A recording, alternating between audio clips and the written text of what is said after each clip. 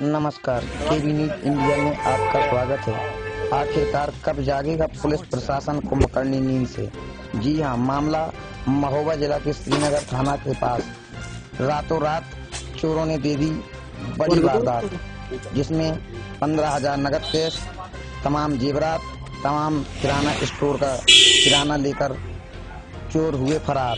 देखिए ये खबर।